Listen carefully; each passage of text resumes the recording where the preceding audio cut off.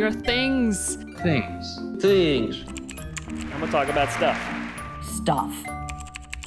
Clinging to objects. Objects. Oh, no. Letting go of objects can make you feel guilty.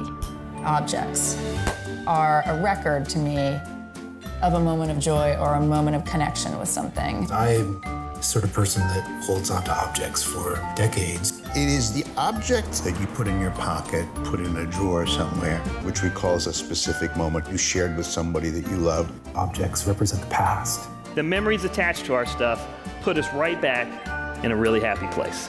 Otherwise, it'll just be lost to time. Why do certain people attach such intense meaning for objects? And why do others not? We have gotten to the place where we think things matter. And they don't. Beni materiali. Material goods cannot fill the emptiness of lives which have no purpose.